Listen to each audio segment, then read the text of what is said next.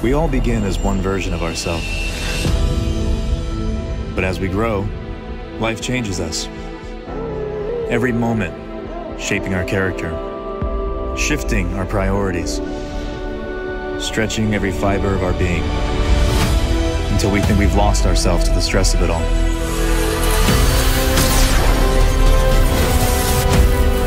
But that's not true, because under the torn fibers is a stronger person forged like steel, with the courage to fight for those we love.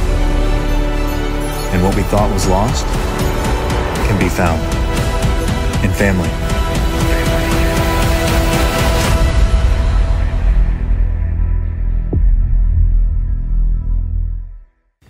Staying with the DC theme, have you ever noticed Superman's surprising lack of dialogue in Man of Steel? Many fans unhappy with how Superman was portrayed in what was ultimately a very dark and serious take on the character. However, a bigger issue may be the lack of character development for the titular hero, because he had a paltry 43 lines of dialogue in the movie. What's your favourite DC movie? Let me know below.